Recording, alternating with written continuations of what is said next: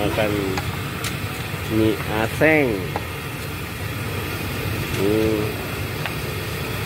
udah setahun lebih ya berapa? Am- dua tahun ya? Tahun lebih ya?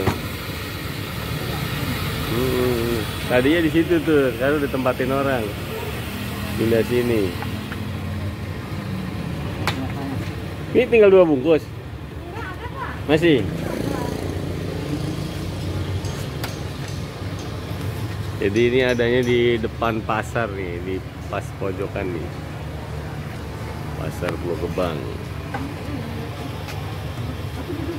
hmm.